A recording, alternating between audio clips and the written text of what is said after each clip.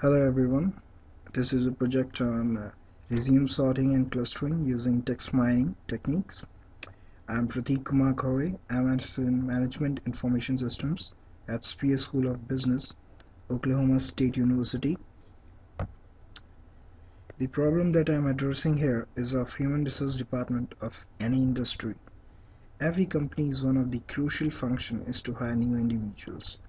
For recruitment, the pool of the resumes a company gets for a job is way higher than the number of persons assigned to analyze it. Hence, there I feel a need to have a text mining model that sorts and filter keywords like internships, specific words, interests, etc. and basing on those keywords, various categories can be defined and resume can be categorized that might ultimately lead to selection of better individuals. Now the data formats that a company might get will be in a lot of different formats like PDF, Word, scanned images, HTML documents, etc. Now those resumes have to be changed into a format of Excel so that it can be more compatible with the RapidMiner. The collection of data might be in all formats like I can show like images, words, or PDF, etc. Now Changing that data to a format compatible would lead to more smooth running of the RapidMiner. Like you can see here, the uh, column 1 gives applicant 1 and the resume of that person, applicant 2 and resume of the that person. Now the main process of basic text mining goes in the function here of the main process and in the vector creation that is inside process documents. Now first we have to retrieve the data from the Excel worksheet giving that to the process documents to data. Inside it you can see we have done operators used like transform cases that lowers the cases of every word for better filtering. Then tokenizing the data like uh, tokenizing uh, dashes uh, semicolons etc and then filtering those tokens so that it can be removed from the data and does not come under supervision of this rapid miner. And then getting into the filtering stop words this operator basically stops uh, special words like and if that might not make much difference. Now the result of the basic text mining goes like this.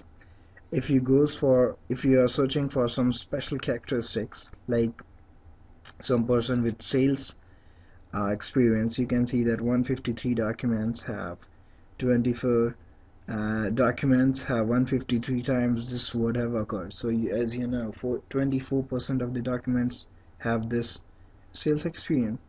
Same goes with the engineering testing manufacturing. These are the particular keywords they can search for in a document now more uh, words like clinical if you want to find a person with clinical experience you can know that it has occurred 66 times and in 18 documents. So at least 18 people in the pool of resumes have this clinical experience. Now the main process in other basic text mining is retrieving data process documents to data here and then transforming cases as goes like this tokenizing filter tokens filter stopwords and then generating n-grams. What this actually n-grams do is that it calculates the linked words and their frequencies in the documents. As I can show is like if you are searching for people with computer skill it has occurred 17 times computer and skills and in 17 document it means that 17 documents have people with computer skills same goes with customer service. It has occurred 46 times and they are in 15 documents. Other uh, ba basic result of text mining is if you are searching for a particular keyword adherent in some people. So you can see that this binomial function shows you that it has been true in these documents applicant number 2 applicant number 50 59 90 and 97 97 so association rule shows in the main process like if we retrieve the data go to process documents we can apply three more operators is like numerical to binomial uh, FP growth and create association. Numerical to binary changes the data into true and false. Whether the word is there, it is true. If it is not there, then it is false. And FP growth initializes the growth of terms and the create association creates association rules. As you can see in the results, education and experience have occurred 90% of the times and to occur it with the com it is 97% is the confidence it means that for example if you take education experience and some town ABC comes 64 times of the data and it is likely to occur 94 and it is likely to occur with com and some domain 94% of the times. Here you can see this if this much words are appearing then other words might appear with them. Is a confidence that appear is going to appear with them. Now the main process uh, can be data similarity. If you want to compare the resumes uh, it can be also taken as a plagiarism if uh, the number of resume or the size or the type of resume matches very much similarity. So uh, you can just have to retrieve the data. You have to process the documents simple processing and then you have to apply an operator data to similarity. It basically operates to find similar terms in the documents and tells you the result. For example if we if we see here applicant number 4 resumes first column has 4 and the applicant 100 resume is second column.